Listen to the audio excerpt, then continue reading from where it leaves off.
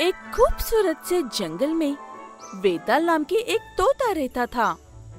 इसको विक्की नाम का एक तोता अच्छा दोस्त है।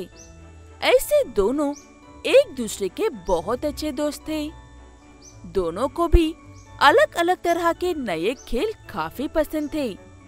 इसलिए हर दिन नए नए खेल खेलते रहते थे विक्की और वेताल पंछी। विक्की आज हम दूसरा और नया खेल खेलते हैं।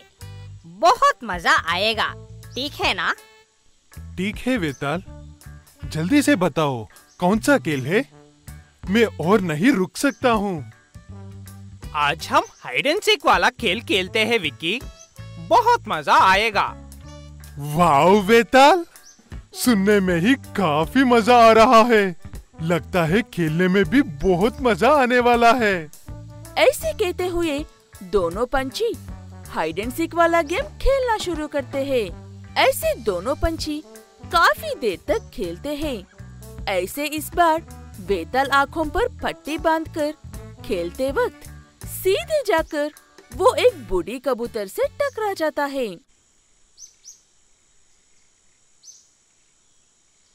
अरे रे रे रे रे मुझे माफ़ कर दो।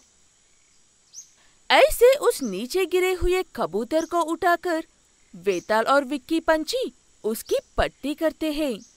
ऐसे उनकी अच्छाई काफ़ी पसंद आती है उस बूढ़ी कबूतर को। उसके बाद अनजाने में हुई गलती के लिए भी आप दोनों इतना सब कर रहे हैं। मैं एक जादुई कबूतर हूँ, तुम्हें जो चाहिए। वो मांग सकते हो। क्या सच में? अब हमें जो मांगने पर वो दे सकते हो? पूछ कर तो देखो छोटे पंछियों। ऐसे कहने के बाद वेताल पंछी बहुत देर सोचने के बाद हमें खेलना बहुत पसंद है इसीलिए हमें खेलने के लिए कोई अच्छी सी चीज़ दीजिए। ऐसे पूछते ही ठीक है कहकर वो जादुई बूढ़े कबूतर उन्हें खेलने के लिए एक जादुई लूडो गेम देती है। वो दोनों उस गेम को देखकर काफ़ी खुश होते हैं। ये एक जादुई लूडो गेम है।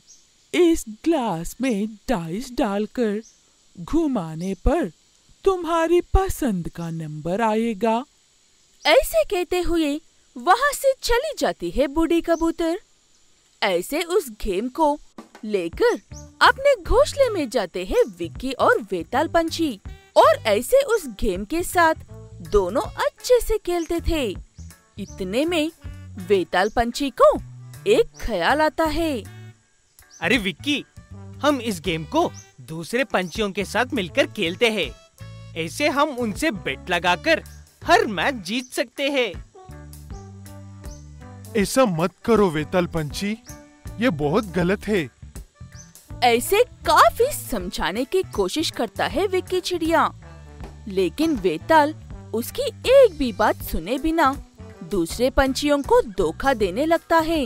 वो बिल्कुल भी पसंद नहीं आता है विक्की चिड़िया को। इसलिए इसकी परिष्कार के लिए मुझे फिर से उस जादुई कबूतर से मिलना होगा। ऐसे कहते हुए विक्की चिड़िया बहुत मेहनत से उस बूढ़ी कबूतर को ढूँढने लगता है। और उस कबूतर को सारी बात बताता है। तब वो कबूतर, तुम ये लो विक्की, ये ग्लास उसी ग्लास की तरह जादुई है। वेताल पंछी की नज़रों से बचकर उस ग्लास की जगह पर इस ग्लास को रख दो। उसके बाद देखो असली खेल। ऐसे उस ग्लास को लेकर विक्की चिड़िया अपने घर जाकर वेताल के ग्लास को उस दूसरे ग्लास से बदल देता है। उस बात से अनजान वेताल तोता अगले दिन सुबह खेलने के लिए जाता है। हाँ आओ आओ, खेल शुरू करते हैं। हमेशा की तरह तुम जीतोगे तो पूरे पैसे ले लो और मैं जीतूँगा तो आधे पैसे ले लूँगा। ऐसे कहते हुए खेल शुरू करता है वेताल। लेकिन हमेशा की तरह उस ग्लास को घुमाकर डाइस डालते ही उस ग्लास में से एक बहुत बड़ी लकड़ी निकलकर वेताल को ज़ोर से मारती है। मेरा सर फुट गया है। ऐसे इधर उधर देखते हुए फिर से खेल शुरू करता है। लेकिन फिर से डाइस डालते ही उस ग्लास में से लकड़ी बाहर निकलकर फिर से वेताल को पीटती है। ऐसे कितनी बार धोखा देने के बारे में सोचकर खेलने पर उतनी बार वो लकड़ी आकर उसकी पिटाई करती है। मुझे ये खेल नहीं चाहिए माँ। मैं और मार नहीं खा सकता हूँ। ऐसे कहते हुए उस खेल को छोड़कर चला जाता है वेताल। इतने में विक्की आकर सारी बात बताकर उसे सुधारने को कहता है। तब बेताल को अकल आती है और वो अपनी गलती के लिए माफ़ी मांगकर अच्छे से रहने लगता है।